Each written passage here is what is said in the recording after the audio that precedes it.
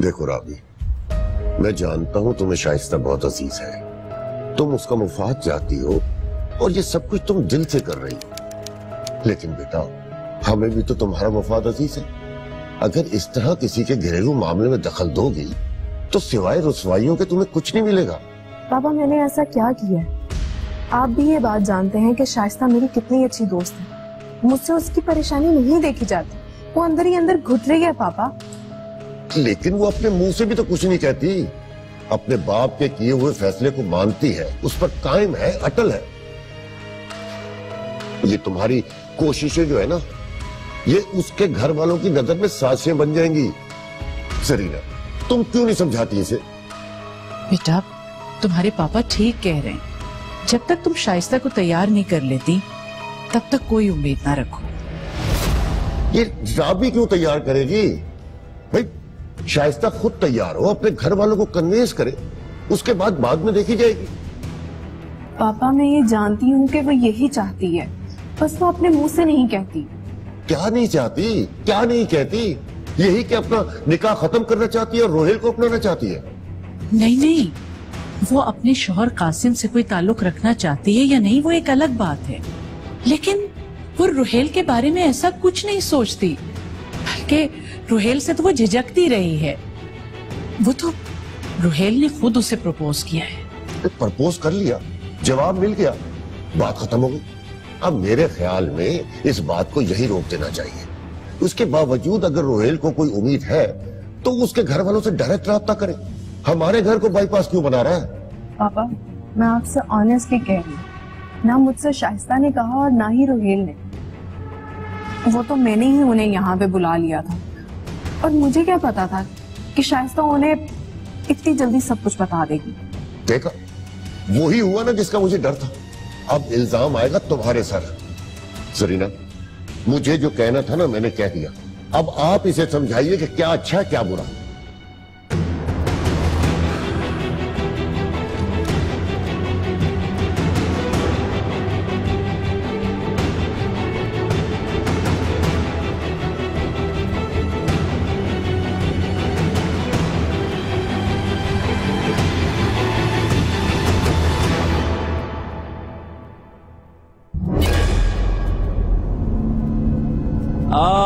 जियो मामू। तुम्हारी कुछ अदाएँ ना महबूबाओं वाली है। आजकल की महबूबाएँ तड़ियों में नहीं आती। तुम आ जाते हो। कमीने हो फर्रान नहीं। पैसे लाए हो? हाँ भाई लाया हूँ। अब जल्दी से बताओ क्या खबर है? अरे बताते हैं बताते हैं। जरा जेब तो ढीली करो। आज की कमाई की चाय तो पिए। ये लो। फ़िक्र नहीं करो पूरे हैं एक लाख दस हज़ार। तुम पे एतबार है मामू। और क्यों ना हो? गिरगिट और गिरगिट भाई भाई। अच्छा ये सब छोड़ो। जल्दी से बताओ क्या खबर है?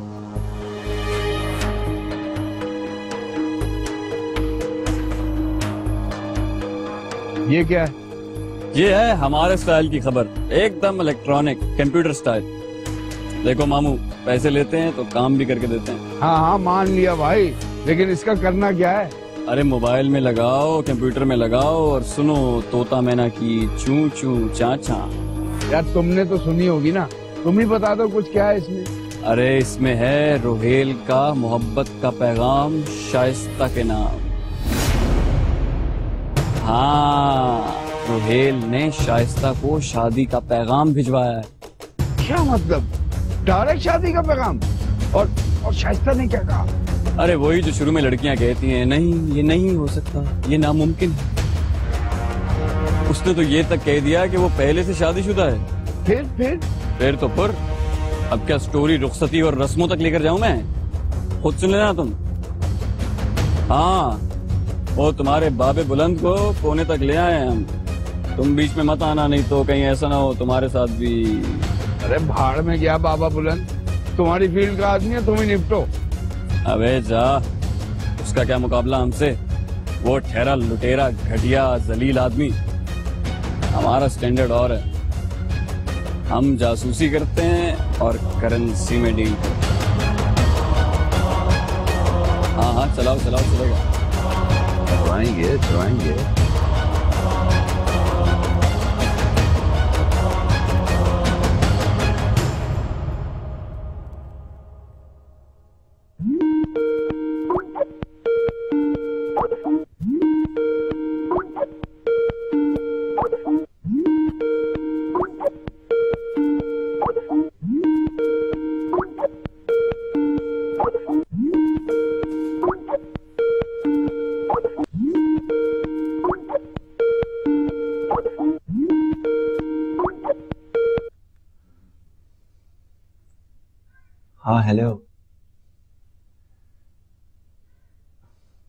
फ़ोन का वेट कर रहा था। तो आप इंतज़ार क्यों कर रहे थे? फ़ोन करने की आप भी जहमत कर सकते थे ना? कुछ इंटरनेट इशू चल रहा था। खैर छोड़ो ना। अब बात हो रही ना हमारी? पहले मैंने सोचा फ़ोन पे बात कर लूँ। फिर मैंने कहा वीडियो चैट ही कर लेती हूँ। और सही हो गया आपकी शक्ल देखे हुए। पता नहीं आज मुझे क्यों डिप्रेशन हो रहा है। क्यों भाई क्या हो गया? तुम्हें और डिप्रेशन क्यों? हाँ। आज पापा से बात हुई थी। कह तो वो समझाने के तरीके में रहे थे लेकिन उन्होंने पहले कभी मुझसे ऐसे बात नहीं की। आखिर बात क्या हुई? यही कि वो शाइस्ता के मामले में कंसर्न है। वो ये कहते हैं कि शाइस्ता के मामले से मुझे दूर रहना चाहिए क्योंकि अगर उसके मामले में कुछ भी गड़बड़ हुई तो सारा इल्ज़ाम मेरे सर पर जाएगा। हम्म। देखो शायद ऐसा ना हो। लेकिन ये बात सच है कि उनकी सोच गलत नहीं है। हर बाप अपने बच्चों के बारे में कुछ कुछ ज़्यादा अकल से सोचता है। शायद खुद गर्जी की हद लेकिन रेहान, पता नहीं क्यों, मैं शाइस्ता के मामले में अपने आप को नहीं रोक पाती। कोई यकीन करे, कोई कच्चा पक्का यकीन करे, लेकिन मुझे पूरा यकीन है। वो इस रिश्ते से खुश नहीं है। चाहे वो कुछ भी कहे मेरा दिल नहीं मानता। वो जानती होगी लेकिन मानती नहीं है। बल्कि उल्टा ये यकीन दिलाने की कोशिश करती है कि सब कुछ ठीक है और वो उससे मुतमईन है। जैसे कि आप जानते नहीं हैं वो ये सब कुछ इसलिए कर रही है ताकि उसके बाबा उससे खुश रहे। राबी समझते हैं हम लोग लेकिन उसका कोई हल नहीं है। हम यहाँ बैठे अपने आप को लाचार महसूस करते हैं। तो तुम वहाँ बैठ के क्या कर सकती हो? कर तो बहुत कुछ सकते हैं लेकिन करने के लिए हिम्मत चाहिए। जो कि यकीनन मुझमें तो है लेकिन आप लोगों में नहीं है। कैसी हिम्मत? कैसा फैसला? कहना क्या चाह रही हो तुम? देखिए शायद मुझे कहने में तो झिझक हो लेकिन मुझे करने में कोई प्रॉब्लम नहीं है। अगर करने में कोई प्रॉब्लम नहीं है तो बताने में क्या प्रॉब्लम हो रही है? बता क्यों नहीं देती? रेहान हम शादी कर लेते हैं फ़ौरन। इसके अलावा हमारे पास कोई चारा नहीं है। और मैं तभी आपके घर आकर इस मामले को अपने तरीके से हैंडल कर सकती हूँ। राबी तुम्हें पता भी है तुम क्या कह रही हो? मैं कोई नाजायज बात तो नहीं कर रही रेहान। जो कल करना है वो आज कर लेते हैं। और ये आप अपनी बहन की खातर कर रहे हैं और मैं अपनी बहन से भी ज़्यादा प्यारी दोस्त की खातर कर रही हूँ। लेकिन Yeah, you're right.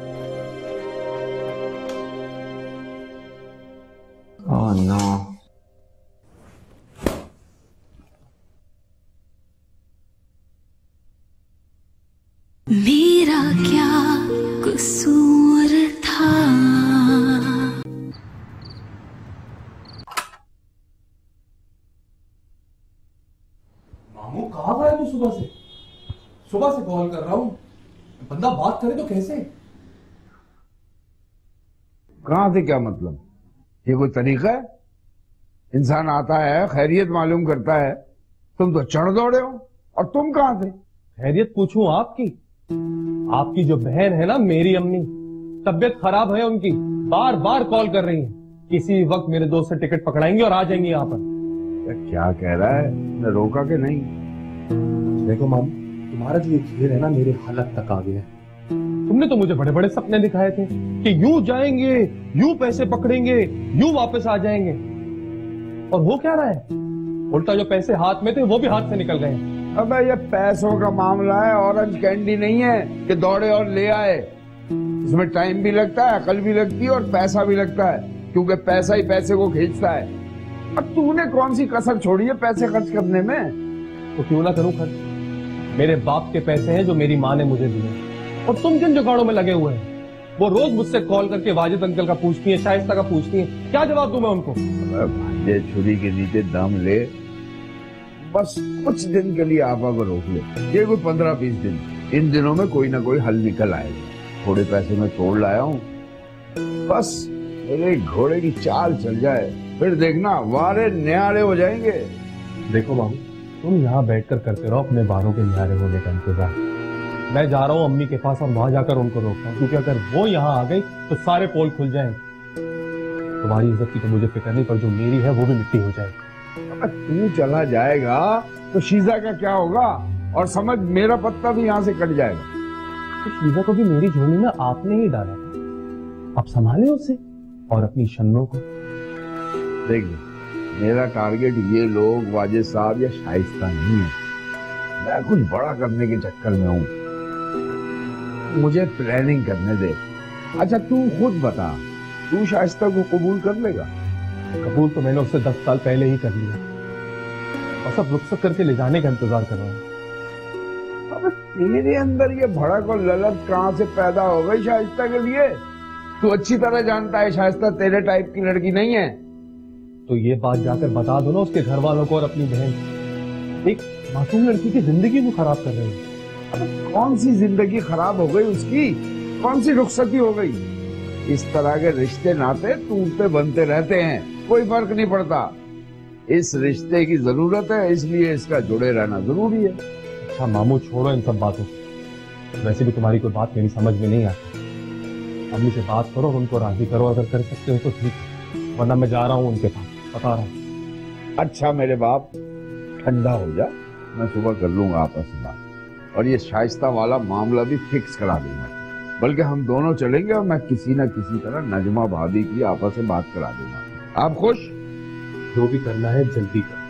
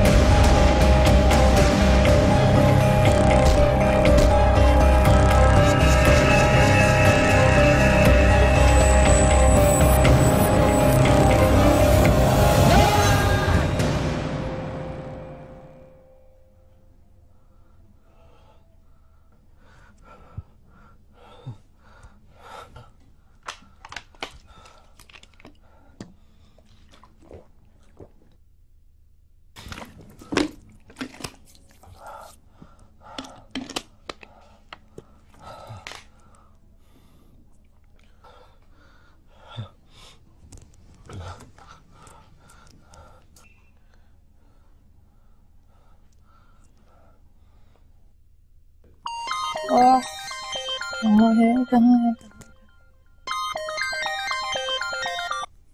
Hello hello Sharaj एक ए, एक सेकंड एक सेकंड एक सेकंड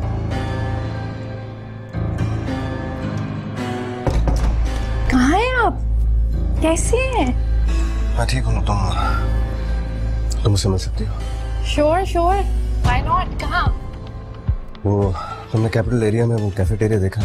वो पिज्जा पास्ता वाला उसके सेकंड फ्लोर पे ठीक शाम सात बजे आना और हाँ किसी बड़ी गाड़ी में सोफर के साथ आना। ओके ओके आई मैनेज वैसे ये फ्लैट जो है ये आपका अपना है? नहीं मैं आज शा, शाम में सात बजे तक यहाँ पे हूँगा ये वहाँ मेरा नंबर नहीं मेरा इसलिए इसलिए सेफ़ मत करना। हाँ शाम को सात बजे पहुँचा और प्लीज़ मुझे कॉल मत करना। ओके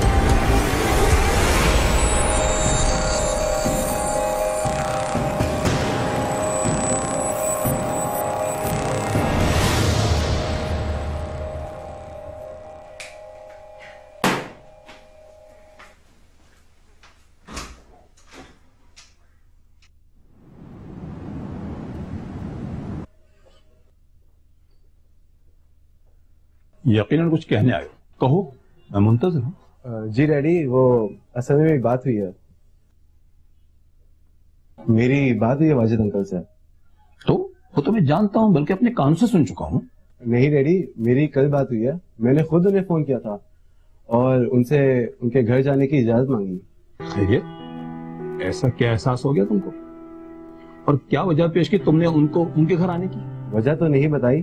बस उनसे इजाज़त मांगी और उन्होंने दे दी, बगैर किसी सवाल जवाब के। यानी कोई नाराज़गी नहीं थी उन्हें मुझसे। बड़े वही लोग होते हैं जिनकी सोच बड़ी होती है। वो अपनी कामयाबियाँ नाराजगियाँ अपनी खुशियाँ शो नहीं करते फिरते। खैर, कब जाना उनके घर? और हाँ खाली हाथ मत जाना। और खबरदार, कोई कीमती चीज़ लेके मत जाना। बड़े लोग बड़ी चीज़ों से मुतासर नहीं होते। श्योर डैडी मेरी पूरी कोशिश होगी कि मैं उन्हें कन्विंस करके दोबारा वापस ले लूँ। इसके लिए अगर मुझे उनसे दोबारा माफ़ी भी मांगनी पड़ी तो मैं मांग लूँगा वो तो ठीक है लेकिन अपनी डिग्निटी का ख्याल रखना। तुम्हारा अंदाज हम्बल होना चाहिए। मिन्नत समाजत वाला नहीं। जी डैडी और मैंने ये भी सोचा है कि अगर वो वापस आ गए तो मैं उनकी सर्विसेज़ को इस तरह इस्तेमाल करूँगा कि उन्हें भी एहसास हो कि उनकी ज़रूरत है हमें। ये जो तुम्हारे रवैये में 180 डिग्री की चेंज आई है ना इसको मैं समझता हूँ लेकिन खैर छोड़ो। मैं तो खुद ये चाहता था कि वाजिद भाई से बात करूँ बल्कि उनसे इजाज़त लेकर शास्ता को ऑफ़र करूँ। ग्रेट आइडिया डैड अगर वो नहीं मानते तो शाइस्ता? ये कोई एक्सचेंज ऑफ़र नहीं चल रही है खबरदार तुम कोई ऐसी बात नहीं करोगे। बस जाना उससे मिलना अच्छा तासुर छोड़ना और आ जाना। बस। समझे? सही है।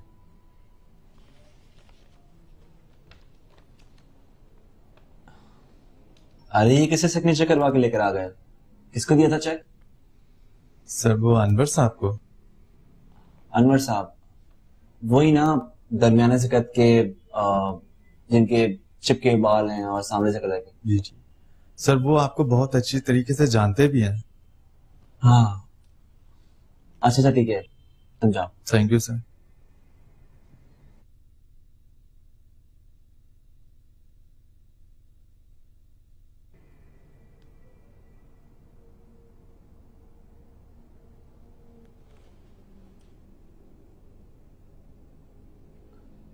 hello ji मामू मैं रेहान बात कर रहा हूँ। मैंने सिर्फ़ इसलिए फ़ोन किया था पूछने के लिए कि आपको पैसे मिल गए ना? हाँ हाँ मिल गए। रसीद नहीं लाके दी तुम्हारे बंदे ने? नहीं नहीं मामू वो तो बस मैंने ऐसे ही सोचा कि आपसे पूछ लूँ फॉर कंफर्मेशन अच्छा किया। भाई तुम्हारा बंदा तो रसीद पर दस्तखत करवाने पे तोला था। मैंने कर दिए। मैंने सोचा अब इससे क्या बहस करूँ? हमारा तुम्हारा रिश्ता दस्तखतों और सबूतों वाला थोड़ी है। जी जी मामू बिल्कुल। वो मैंने उसको न्यू अपॉइंट किया ना ऑफ़िस में। वो आपको जानता भी नहीं। डोंट वरी मामू। मैं कह दूँगा। आप बिल्कुल फ़िक्र मत करें ओके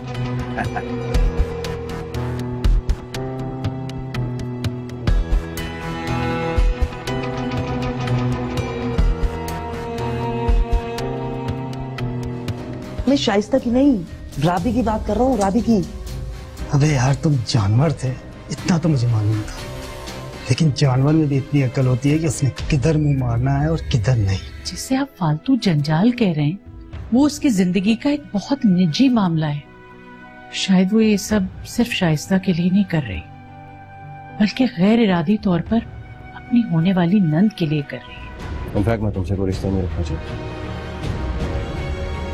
हर बात तो इंसान के बस में नहीं होती ना। मैंने कत्ल के सिवा सारे बुरे काम मेरा क्या कसूर था?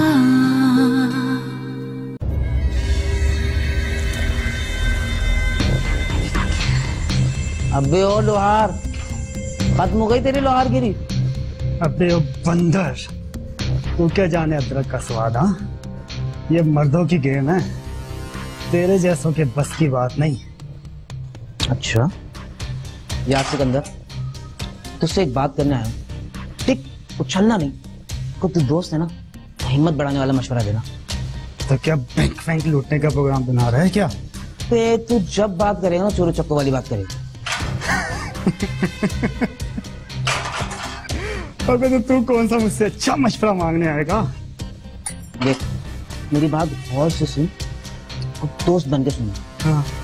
यार वो आजकल शिकारी के घर के ना बड़े चक्कर लग रहे हैं। तो शिकारी की जो बेटी है ना वो तेरे भाई का दिल आ गया। शाइस्ता की सहेली नहीं राबिया राबी की बात कर। अबे तू पागल पागल हो गया क्या? भंग है। वो शिकारी जो है ना वो तो मारेगा सो मारेगा। लेकिन जो राजा है ना तेरे पीस करके कुत्तों को नहीं चूहों को खिला देगा। शिकारी की तो ना बाद में देखी जाएगी। टेंशन है राजा भाई का। जब देख राजा भाई की नज़र इनके पैसों पे तो नहीं है ना? मैं शाइस्ता की नहीं। राबी की बात कर रहा हूँ राबी की। अबे यार तुम जानवर थे। इतना तो मुझे मालूम था। लेकिन जानवर में भी इतनी अकल होती है कि उसने किधर मुँह मारना है और किधर नहीं। देख तेरी औकात जो है ना वो मासी तक है। अगर उससे तू इतना भी ऊपर आया ना तो दोनों तरफ़ से इतनी गोलियाँ पड़ेंगी इतनी गोलियाँ पड़ेंगी कि छन्नी बन जाएगा। मैं तुझसे यहाँ आया था दोस्त समझ के मशवरा मांग। तो तू मुझे लेक्चर देने बैठ गया। निकल गई सारी हेकड़ी। कहाँ गए? वो कसमे वादे कि जान दे दूँगा ये कर दूँगा वो कर दूँगा। अच्छा सुन। तू राजा भाई के पास जा ठीक है? वहाँ जाके मैं बता। उन्हें सब कुछ बता। उसके बाद अगर उन्होंने तुम्हारा टेटवा ना दबा दिया ना तो मैं नाम बदल देना क्या करेगा? देख भाई मैं राजा भाई के लिए काम करता हूँ। बेचा नहीं है मैंने कुछ क्या बिगाड़ लेगा मेरा? मेरे इश्क के बीच में जो भी आएगा ना मुझसे जंग करेगा। मोहब्बत और इश्क में सब जाएँगे। अबे यार, पता नहीं किस फालतू के लक्षण नहीं पता कुछ खानी हो जैसे। तू यहाँ बैठ। ठीक है? अपना इश्क संभाल। मैं जा रहा हूँ मेरे बाबू की सीओडी देने अभी शुरू हो जा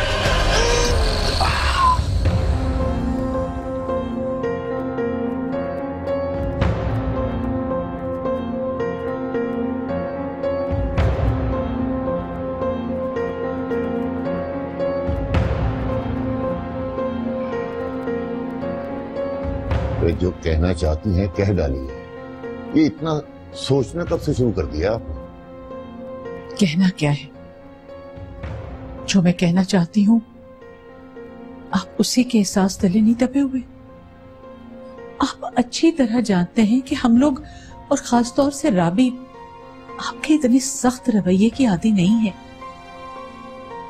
इसका मतलब है कि बाहैसियत बाप अगर मैं अपनी बेटी के हक में कुछ समझाऊं तो मेरा रवैया सख्त गिर कहलाएगा अज़ीज़ साहब समझाने में और सख्ती से किसी चीज़ को मना करने में फ़र्क होता है।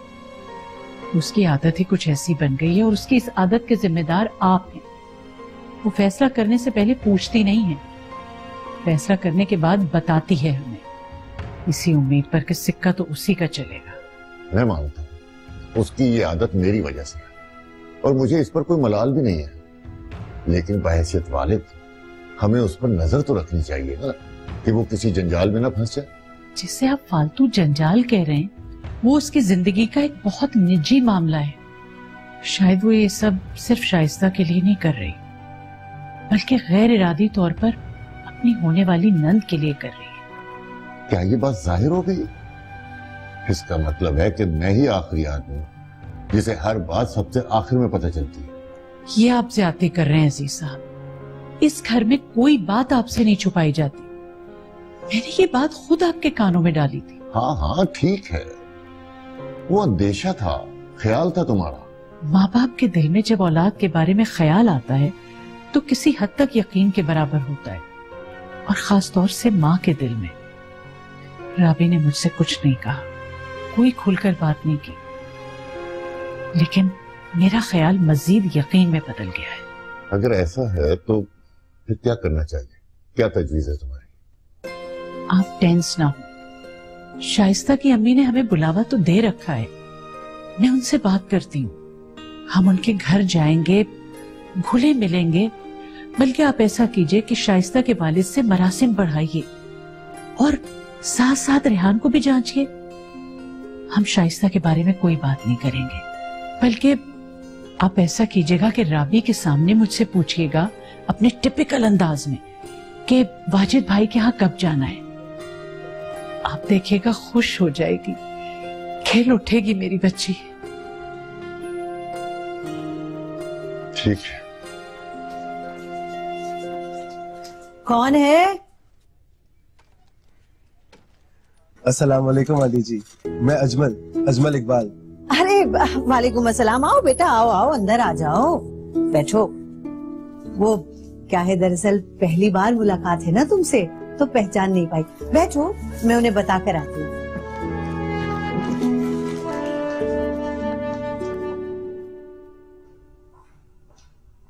आइए आइए अनवर साहब।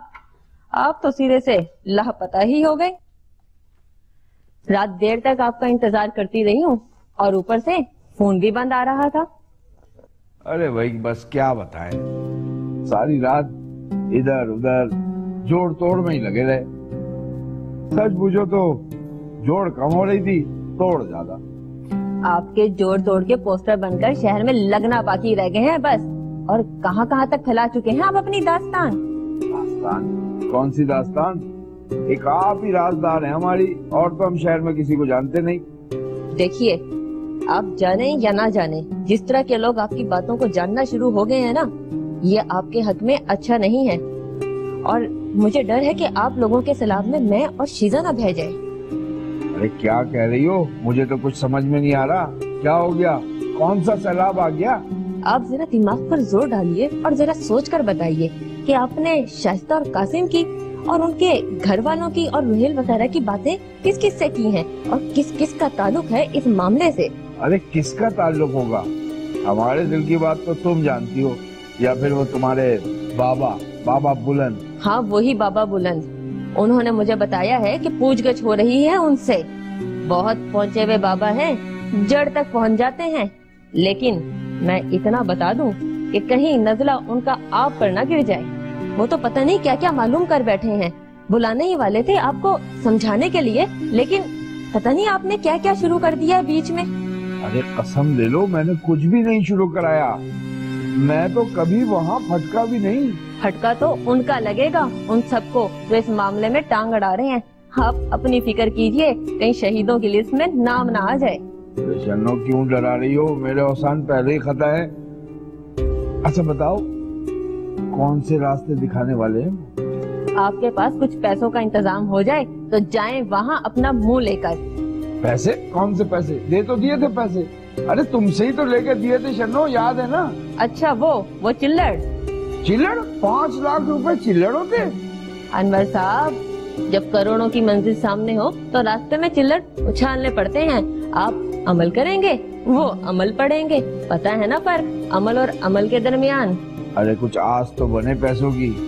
कोई रास्ता तो दिखाए वो। मैं करती हूँ बात उनसे फिर आपको बताती हूँ। अब लापता ना हो जाना दोबारा। आंटी ये कबूल कीजिएगा। अरे बेटा इस तोहफे की क्या ज़रूरत थी?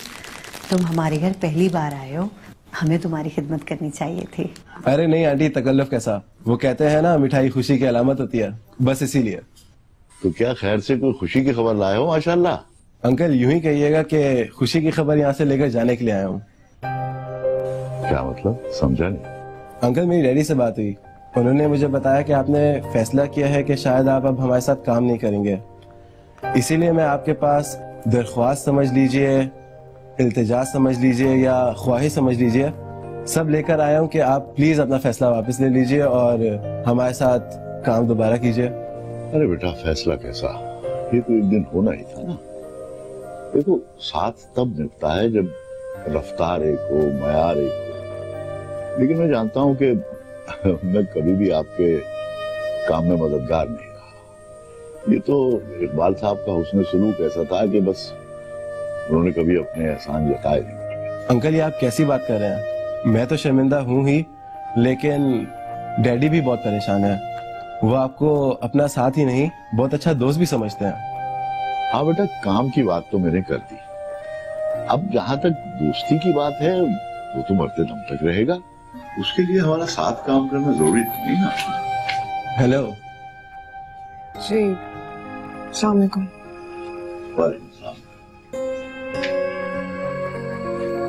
आंटी आप ही अंकल से कहिए ना। अगर आप कहेंगी तो शायद हमारी बात मान जाए। वैसे अंकल मैंने डैडी को एक तजवीज दी थी जिस पर वो बहुत खुश हुए हैं।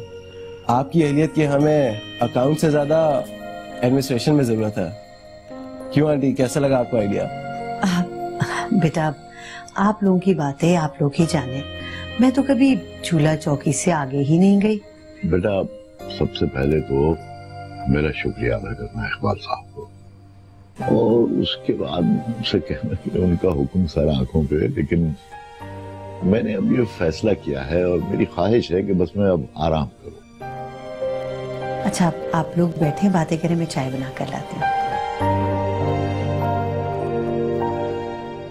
अंकल डैडी की जिस बात का आप हुक्म कह रहे हैं, उनकी उसी बात को आप इसरा समझ के कबूल कर लीजिए। चाहे तो सोच लें प्लीज़ ठीक है, मैं इस बात का वादा करता हूँ कि मैं इसके बारे में सोचूँगा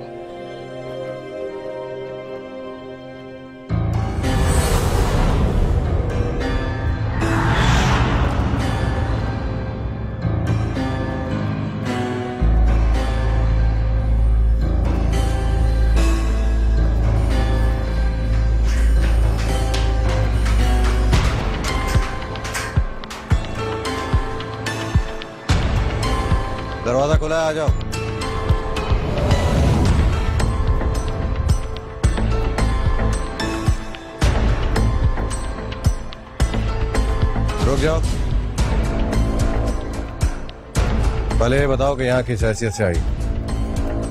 क्या मकसद है तुम्हारा? और अगर नहीं बता सकती हो तो उल्टे पैर वापस चली जाओ। मेरी ये हैसियत है कि मैं आपसे प्यार करती हूँ। और मेरा ये हक है कि मैं आपसे भी प्यार ही चाहती हूँ।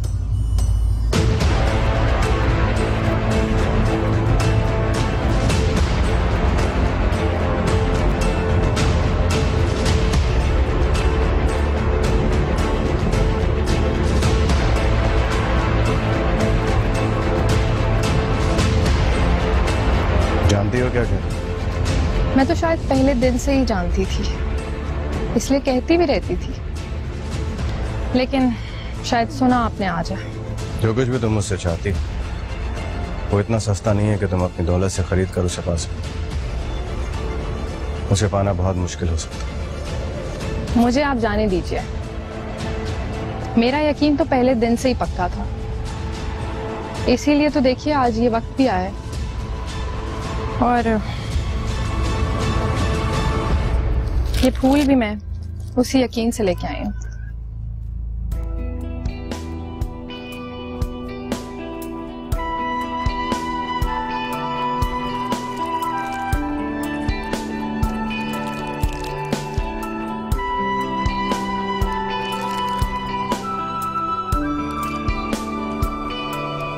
आला वक्त आने पे मैं तुम्हें सब कुछ बताता रहूँगा।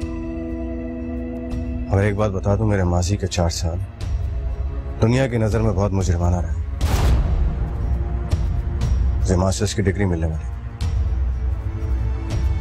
अचानक से मेरी ज़िंदगी में पहुँचा फिर मैं उस दलदल में धंसता चला गया, धंसता चला गया। जिस दुनिया से मेरा ताल्लुक रहा, वहाँ पे हर किस्म की बुराई बुराई समझती हो ना? बस दो साल पहले मैंने वो सब कुछ आज भी उस जमाने की कस मुझे सुनाई देती। उस शोर शराबे से बहुत से दुश्मन निकल के मेरे सामने आ जाते। और वो फ़ोन पे जो तुमने गोलियों की आवाज़ें सुनी थी, उसे चलाने वाले कोई और नहीं थे, मेरे अपने ही चाहने वाले थे। मेरे अपने ही अज़ीज़।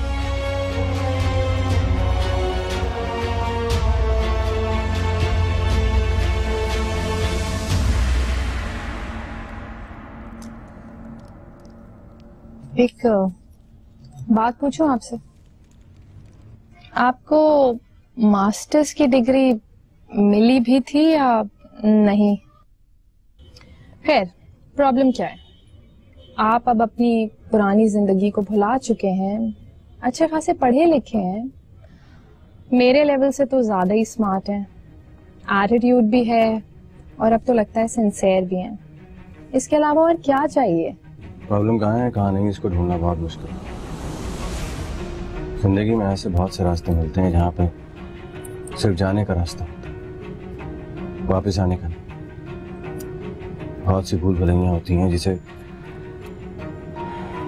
वैसे पार करते करते सारी ज़िंदगी गुजर जाती है। ये तो आप बहुत ही फिल्मी एक्सप्लेनेशन दे रहे हैं। अच्छा खैर, आप ये बताएँ कि अब आप यहीं रहेंगे ना, मैं आपसे मिलने आ सकती हूँ ना? बिल्कुल नहीं। बिल्कुल भी नहीं। यहाँ दोबारा आने के बारे में सोचना तक अभी कुछ दिनों यहाँ रहूँगा उसके बाद यहाँ से चला जाऊँगा जब तक ये सारी प्रॉब्लम्स भी ठीक हो। कौन सी प्रॉब्लम्स उस दिन आपने मुझे कॉल की पीछे गोलियाँ चल रही थी आपके पीछे लोग पड़े हुए हैं ये क्या चक्कर है? देखो आयला मैं तुमसे कोई छोटा सच्चा रिश्ता नहीं रखना चाहता। ऐसा कोई रिश्ता नहीं रखना चाहता मैं तुमसे जिसमें झूठ हो फरेब। इनफैक्ट मैं तुमसे कोई रिश्ता नहीं रखना चाहता। हर बात तो इंसान के बस में नहीं होती ना। मैंने कत्ल के सिवा सारे बुरे काम।